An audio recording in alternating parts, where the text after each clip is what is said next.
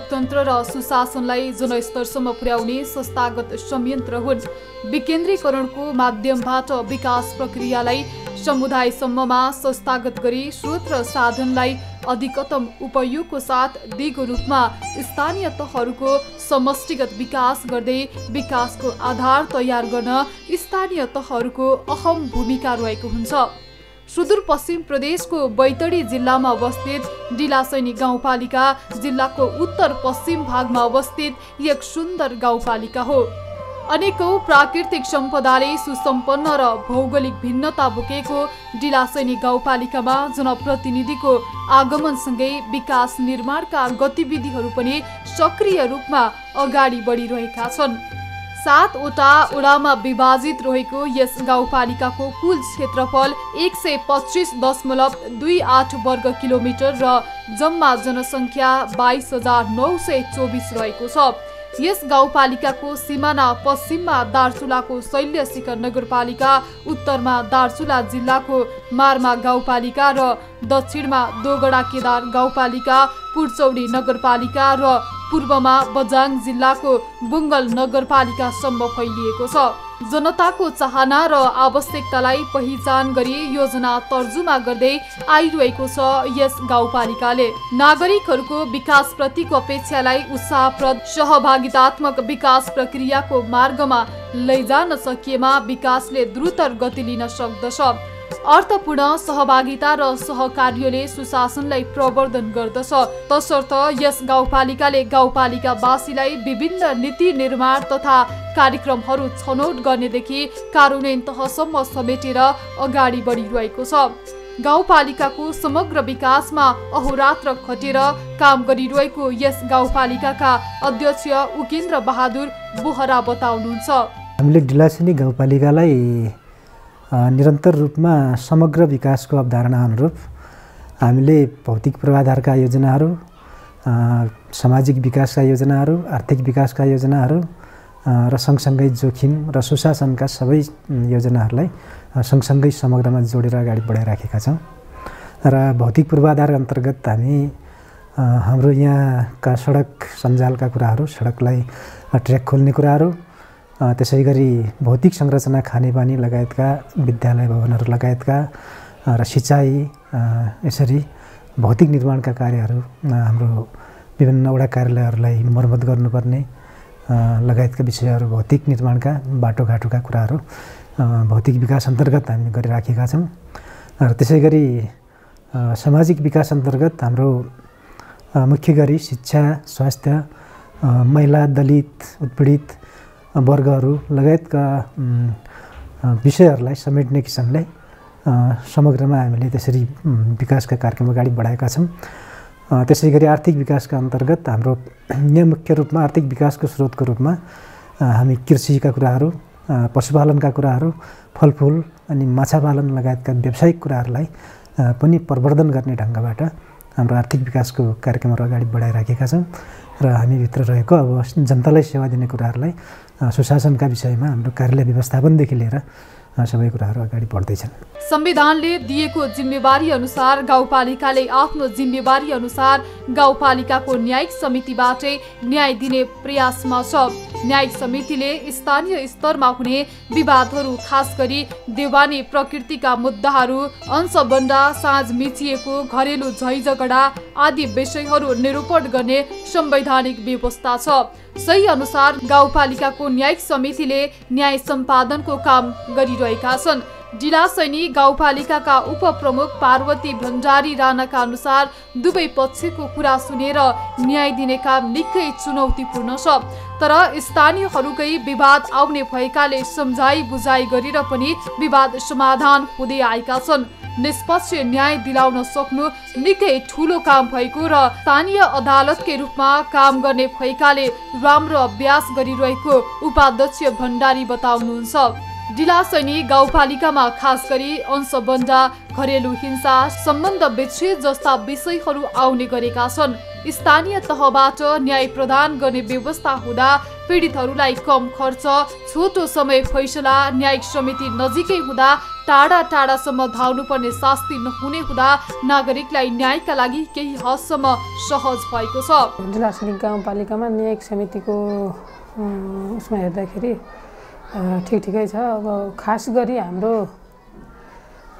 घरेलु हिंसा सम्बन्धी अनि विभिन्न गौचरण सम्बन्धी र महिला पुरुष बिच जाँड रक्सी खाएर महिलामाथि हुने घरेलु हिंसाका समस्याहरू अहिलेसम्म उजुरीको रूपमा दर्ता भइरहेका छन्। अब लक्षित वर्गका कार्यक्रमहरूलाई विशेष तरिकाले चाहिँ हामीले डिलासनी गाउँपालिकामा हेरिराखेका छौँ जस्तै हामीले महिलाको क्षेत्रमा गत वर्ष र अघिल्लो वर्ष हामीले विभिन्न जस्तै विभिन्न सिपमूलक तालिमहरू प्रदान गर्नको लागि पनि विभिन्न किसिमका जनचेतनामूलक कार्यक्रमहरू पनि आवश्यक पर्ने भएको कारणले गर्दाखेरि हामीले ती वर्षहरूमा हामीले जनचेतनामूलक नै कार्यक्रमहरू सञ्चालन गऱ्यौँ। त्यस्तै दलित वर्गको उसमा हामीले दलित क्षेत्रमा एकदमै गरिब न्यून आयस्तर भएको कारणले गर्दाखेरि उनीहरू विभिन्न किसिमका घाँस बाँस र अनि लत्ता कपडाका समस्याहरू पनि देखिने भएको कारणले गर्दाखेरि हामीले गत वर्ष हामीले कम्मल वितरण कार्यक्रम पनि राखेका थियौँ। त्यस्तै गरी हामीले बालबालिकाको क्षेत्रमा बालबालिकाको क्षेत्रमा विभिन्न किसिमका बालबालिकाहरू सानै उमेरमा बिहे गर्ने सानै उमेरमा विद्यालय छोड्ने विभिन्न समस्याहरू हाम्रो यो दुर्गम क्षेत्र परेको हुनाले ती समस्याहरू आइरहेका हुन्छन्। त्यसमा पनि बालबालिकाको क्षेत्रमा हामीले जनचेतनामूलक कार्यक्रम सञ्चालन गरेर बाल विवाह सम्बन्धी अनि छाउपडी सम्बन्धी त्यो लैङ्गिक हिंसा सम्बन्धी विभिन्न कार्यक्रमहरू गरेर हामीले यो कार्यक्रम सञ्चालन गरेका छौँ। अन्य स्थानीय तहहरूमा जस्तै यस गाउँपालिकामा पनि कर्मचारी अभाव रहँदै आएकोमा कर्मचारीहरू आपसी समन्वय मार्फत गाउँपालिकाको काम कारवाहीलाई सहज बनाउँदै आएका छन्। स्थानीय बासिन्दाहरूलाई सहज र सरल रूपमा जवाबदेही ढङ्गले सेवा प्रवाह गरिरहेको छ यस गाउँपालिकाले। जनप्रतिनिधि र कर्मचारी बीच मतभेद नराखी गाउँपालिकाको समानान्तर विकासमा प्रतिबद्ध देखिन्छ डिला सैनी गाउँपालिका। यस गाउँपालिकाले स्थापना कालदेखि नै प्रभावकारी सेवा प्रवाह गर्दै आइरहेको छ। दुई वर्षसम्म जनशक्तिको अभावले गर्दा प्रभावकारी रूपमा सेवा प्रवाह गर्न नसकेको यस गाउँपालिकाले पछिल्लो समय लोकसेवा आयोगमा कर्मचारी माग गरिसकेपछि सम्पूर्ण शाखाहरूमा पुग्ने गरी जनशक्तिको व्यवस्थापन गरेको छ। आगामी दिनमा सेवा प्रवाह अझै प्रभावकारी हुनेमा गाउँपालिका विश्वस्त छ। डिलासनी गाउँपालिकाले स्थापना कालदेखि नै अहिलेसम्म प्रभावकारी सेवा प्रवाह गर्ने प्रयास गर्दै आएको छ। यस क्रममा पछिल्लो लगभग दुई वर्षसम्म हामीसँग जनशक्तिको अभाव ले गर्दाखेरि हामीले प्रभावकारी रूपमा सेवा प्रवाह गर्न सकेनौँ। अहिले हामीले लोकसेवा आयोगमा माग गरिसकेपछि हामीसँग चाहिँ सम्पूर्ण शाखाहरूमा पुग्ने गरेर जनशक्तिको अहिले व्यवस्थापन भएको छ र अब चाहिँ सेवा प्रवाह अझै प्रभावकारी हुने कुरामा हामी विश्वस्त रहेका छौँ। आर्थिक पक्षमा हामीले यो वर्षका लागि अनुमानित छयालिस करोड को हाराहारीमा हामीले बजेट अनुमान गरेका छौँ। त्यसमध्ये बाह्रदेखि चौध करोडको बिचमा हाम्रो पुँजीगत बजेट रहेको छ भने बाँकी कार्यक्रमहरू चालु खर्चमा रहेका छन्। खास गरेर सङ्घीय सरकारबाट प्राप्त हुने सशर्त अनुदानको बजेट चालुमा समावेश हुने भएकाले चालुको आकार बढ्न गएको देखिन्छ। तर खर्चको अवस्था हेर्दाखेरि हामी लगभग बिसदेखि तिस प्रतिशतको बिचमा मात्रै पुष मसान्तसम्म हामीले खर्च गर्न सकेका छौँ। बिचमा कर्मचारीहरूको अभाव इत्यादि कारणले गर्दाखेरि अलिकति खर्चको आकार चाहिँ बढ्न सकेको छैन। तथापि हामी यो आर्थिक वर्षको अन्तसम्ममा चाहिँ सम्पूर्ण नब्बे प्रतिशतभन्दा बढी खर्च गर्ने चाहिँ प्रयास गर्नेछौँ। पूर्वाधार विकासलाई मुख्य प्राथमिकतामा राखेर विकास निर्माणका कामहरू अगाडि बढिरहेका छन् यस गाउँपालिकामा। अहिले गाउँपालिकामा रहेका सबै सडकहरूमा कालोपत्रे गर्ने काम तीव्र गतिमा भइरहेको छ। गाउँपालिकाका सातवटा वडा मध्ये चारवटा वडालाई सडक सञ्जालसँग जोड्न सफल भएको यस गाउँपालिका बाँकी तीनवटा वडालाई पनि सडक सञ्जालसँग जोड्न कटिबद्ध रहेको छ। यस्तै शिक्षा क्षेत्रमा पनि गाउँपालिकाले उल्लेख्य परिवर्तन गर्न सफल भएको छ।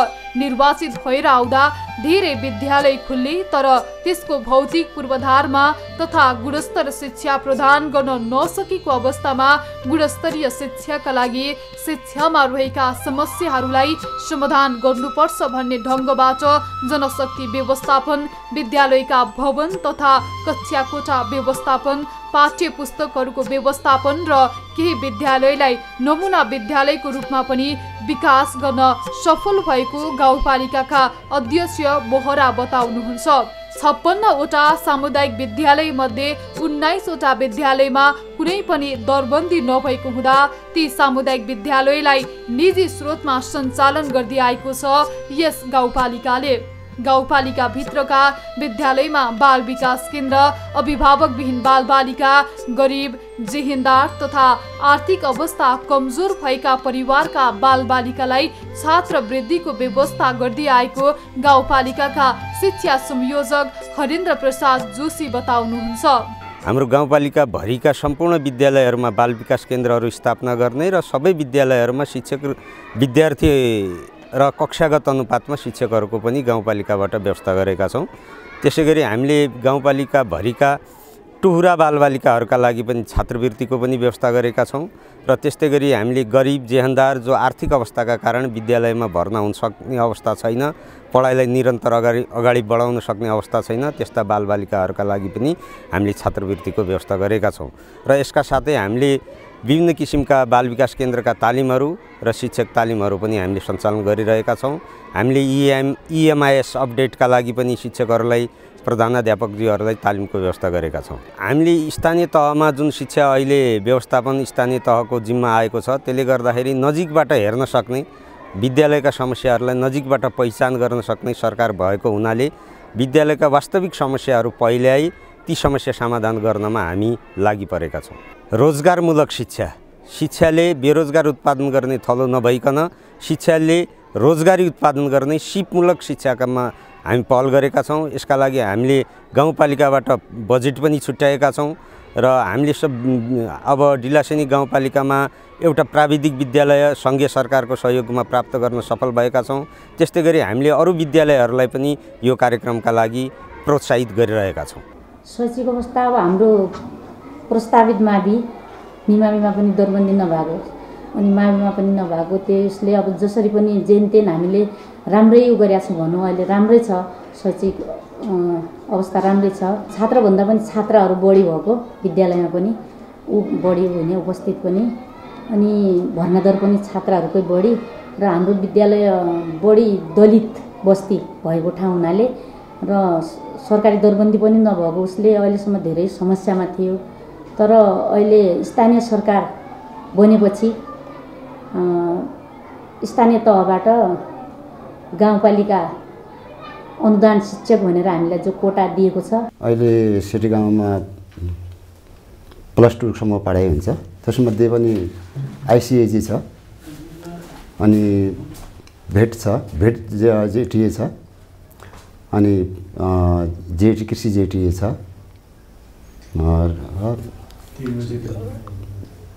के? तिन वर्ष भेट छ तिन वर्ष आइसिएजी छ। र अठार महिने जेटिए छ। यस्तै गाउँपालिकामा गोकुलेश्वर कृषि तथा पशु विज्ञान कलेज समेत सञ्चालनमा रहेको छ।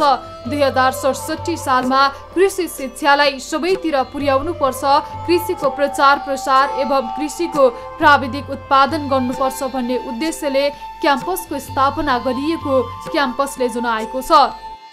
कृषि तथा पशु विज्ञान अध्ययन गर्न इच्छुक सतहत्तरवटै जिल्लाका विद्यार्थीहरूको क्याम्पसमा प्रतिनिधित्व रहेको क्याम्पसले जनाएको छ।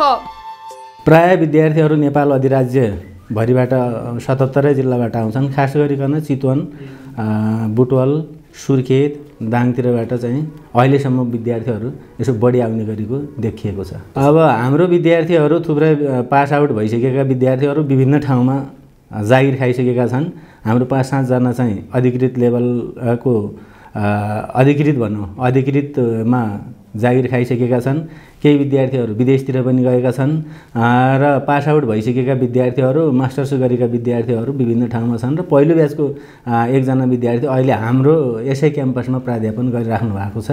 र हाम्रो सेकेन्ड ब्याचमा टियु टपेको थियो र अहिले पनि टियु टपेको छ। हाम्रो नाइन्टी पर्सेन्ट ल्याएर रिता भण्डारीले सातौँ सेमेस्टरमा फेकल्टी यो एग्रिकल्चरमा टपेको छ।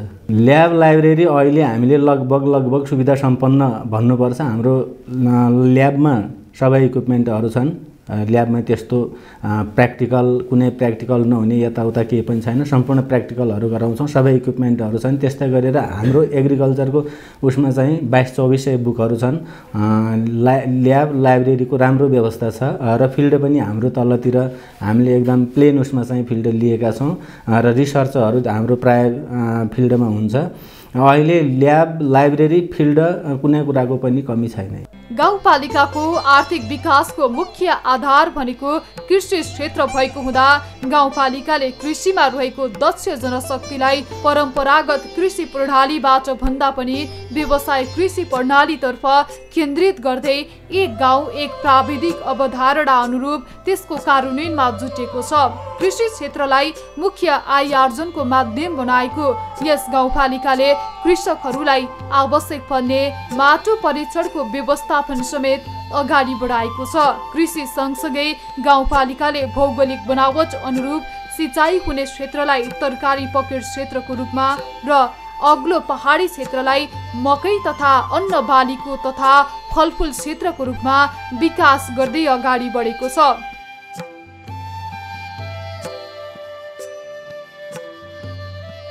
गाउँपालिकाले स्वास्थ्य क्षेत्रलाई समेत मुख्य प्राथमिकतामा राखेको छ। गाउँपालिकाका सबै स्थानीयलाई सहज रूपमा स्वास्थ्य सुविधा प्रदान गर्नका लागि गाउँपालिका अन्तर्गतका हरेक स्वास्थ्य चौकीहरूमा प्रयोगशाला स्थापना गर्ने पोषणमा सुधार ल्याउनका लागि गाउँपालिका उपाध्यक्ष कोसेली कार्यक्रम सञ्चालनमा ल्याएको छ। गाउँपालिकामा डिलासैनी स्वास्थ्य चौकी समेत सञ्चालनमा रहेको छ। सामान्य रोगका लागि स्थानीयले गाउँपालिकामा रहेको उक्त स्वास्थ्य चौकीबाटै स्वास्थ्य सेवा लिँदै आएका छन्। डिलासैनी गाउँपालिका धार्मिक तथा पर्यटकीय क्षेत्रमा पनि बढी सम्भावना बोकेको स्थानीय तह हो। गाउँपालिकामा रहेको प्राकृतिक सम्पदा तथा मठ मन्दिरहरू नै गाउँपालिकाको धार्मिक तथा पर्यटकीय सम्भावनाका स्रोतहरू हुन्।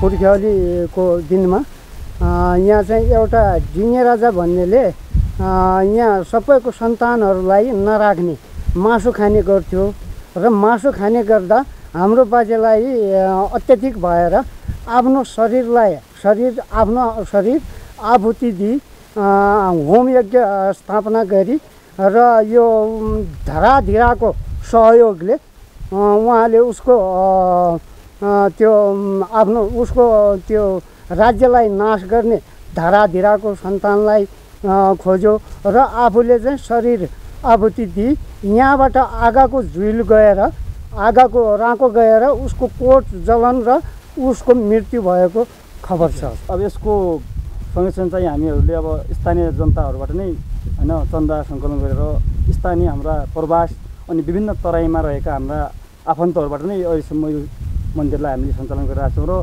र यो चाहिँ यदि यसको सम्भावना भनेको पर्यटक स्थल हुने सम्भावना भएको त्यत्रो त्यत्रो क्षेत्र धेरै जमिन आफ्नै नाममा मन्दिरकै नाममा जमिन भएको र यो चाहिँ पर्यटक पर्यटक क्षेत्र घोषणा हुनुपर्नेमा मेरो एकदमै माग छ सर। परापूर्वकालदेखि यो यो ठाउँलाई देवझाडी अनि देवताले बस्ने देवझाडी भन्ने ठाउँ भन्ने गरिन्छ यसलाई।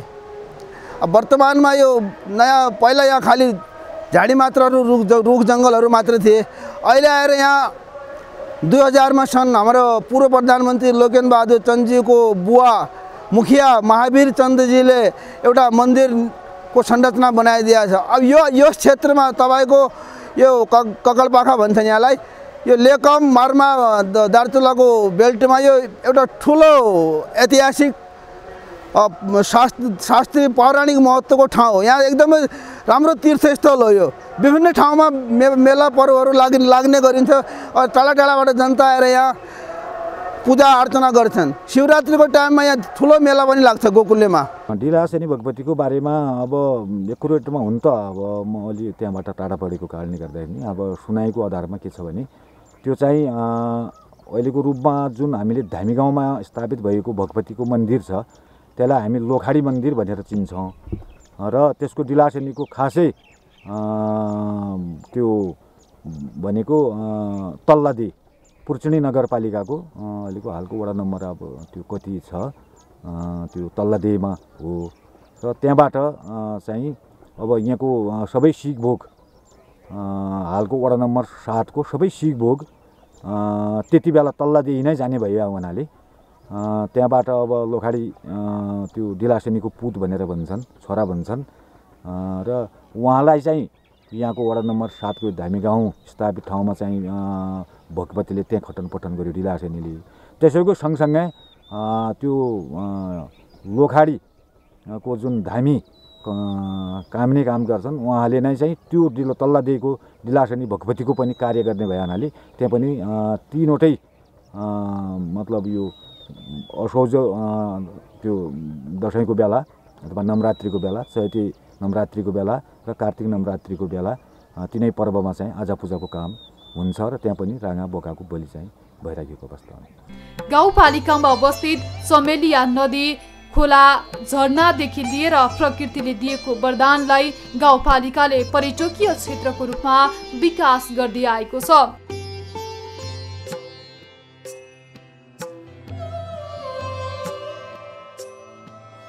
यस्तै गाउँपालिकाले स्थानीय युवाहरूलाई स्थानीय क्षेत्रमै परिचालन गर्ने उद्देश्यले युवाहरूको लागि विभिन्न कार्यक्रम समेत अघि सारेको छ। विभिन्न अवसरको खोजीमा युवा जनशक्तिहरू विदेश पलायन भइरहेको अवस्थामा गाउँपालिकाले हरेक कार्यक्रमहरूलाई बेरोजगारसँग जोडेर बेरोजगारीहरूलाई अनुदान दिने आत्मनिर्भर बनाउने तरिकाबाट बेरोजगारको अन्त्य गर्नुपर्छ भनेर बेरोजगारलाई प्राथमिकतामा समेत राख्दै आएको छ।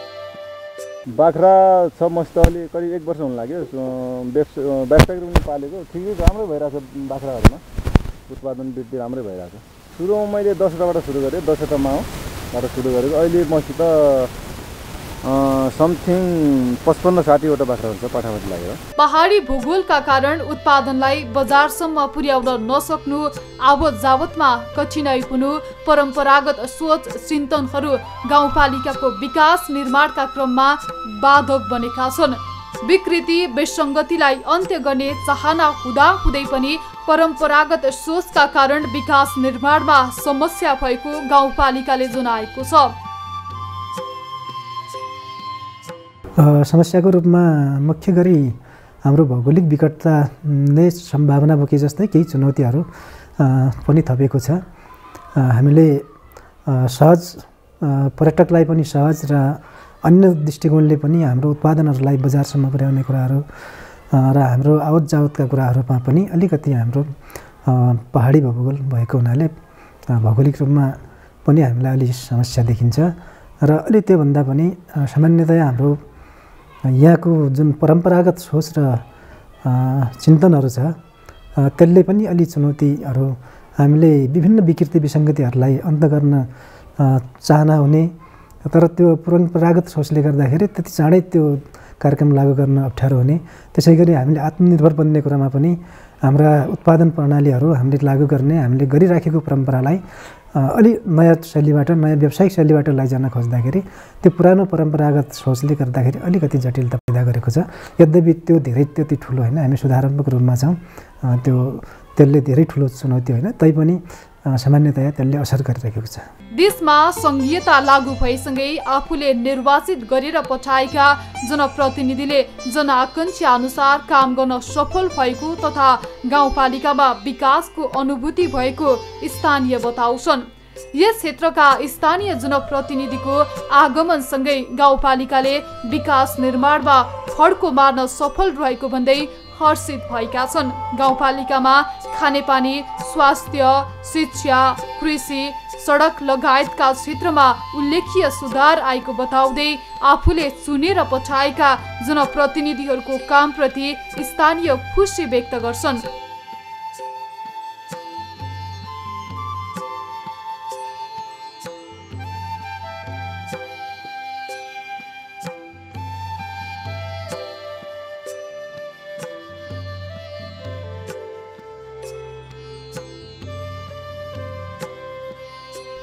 विभिन्न समस्याका बावजुद गाउँपालिकालाई समृद्ध डिलासैनी सुखी डिलासैनी बनाउनु पर्छ भन्ने मूल नारासहित तत्कालीन मध्यकालीन र दीर्घकालीन योजना निर्माण सहित अगाडि बढिरहेको छ यस डिलासैनी गाउँपालिका। पाँच वर्षको कार्यकालको अवधिमा डिलासैनीवासीले आधारभूत विकासको महसुस गर्ने गरी काम गरिरहेको गाउँपालिकाका अध्यक्ष बोहरा बताउनुहुन्छ। संविधानले जुन आधारभूत आवश्यकताहरूलाई मौलिक हकको रूपमा उल्लेख गरेको छ त्यसको व्यवस्थापनका लागि पूर्ण रूपमा लागिरहेको गाउँपालिकाको भनाइ छ। आधारभूत आवश्यकताबाट कोही गाउँपालिकावासी वञ्चित हुन नपर्ने तवरबाट काम गरिरहेको अध्यक्ष बोहरा बताउनुहुन्छ। स्थानीय सरकार भइसके भइसक्नुभन्दा पूर्व पनि हामीले जनताहरूसित भोट माग्दै गर्दा र हामी निर्वाचित भइसके पनि हामीले थुप्रै प्रतिबद्धताहरू हामीले राखेका छौँ। मुख्य गरी अब अलिक समृद्ध डिलासेनी बनाउनुपर्छ सुखी डिला निवासी बनाउनुपर्छ भन्ने मूल नारासहित हामीले तत्कालीन मध्यकालीन र दीर्घकालीन प्लानहरू निर्माण गरेका छौँ। हामीले विभिन्न समयमा त्यो कार्यक्रमहरू मार्फत घोषणा पत्रहरू मार्फत पनि प्रतिबद्धता पत्रहरू मार्फत पनि हामीले सार्वजनिक गरेका छौँ। र हामी मुख्य गरी यो पाँच वर्ष समग्रमा छोटकरीमा भन्नुपर्दाखेरि पाँच वर्षको हाम्रो कार्यकालको अवधिमा डिलासे निवासीले आधारभूत विकासको महसुस गर्ने गरी हामी कार्यक्रम तय गरेका छौँ। आधारभूत रूपमा पाउने सब सबै क्षेत्रहरूबाट शिक्षाको क्षेत्रमा स्वास्थ्यको क्षेत्रमा प्राविधिक शिक्षाको क्षेत्रमा खानेपानी लगायतका जुन आधारभूत मापदण्ड संविधानले व्यवस्थापन संविधानले उल्लेख गरेको छ मौलिक हकका रूपमा संविधानले उल्लेख गरेको छ र नागरिकले पाउनुपर्ने आधारभूत सेवाहरू हाम्रो पाँच वर्षभित्रबाट कोही वञ्चित हुँदैन। यो यो कार्यक्रम यसलाई हामी पाँच वर्षभित्र सकाउँछौँ भन्ने ढङ्गबाट हामीले लक्ष्य राखेका छौँ। जनताको समस्या इच्छा आकाङ्क्षा सम्बोधन गर्नका लागि लागि परेको बैतडीको यस डिलासनी गाउँपालिका आगामी दिनमा नमुना गाउँपालिका बनाउन सफल रहोस्। हाम्रो शुभकामना।